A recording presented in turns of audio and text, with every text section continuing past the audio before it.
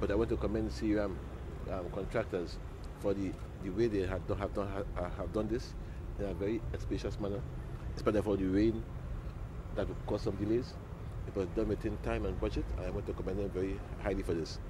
I, I want to say to this, one of the major works of the Pure unit, as you may know that the Pure unit is now being redefined or reconsidered, and therefore until I know what's happening, I will not be able to do any new works on the Pure unit um, to the detriment of some workers with, with the contractors. But you all will have to ask the contractors more about that.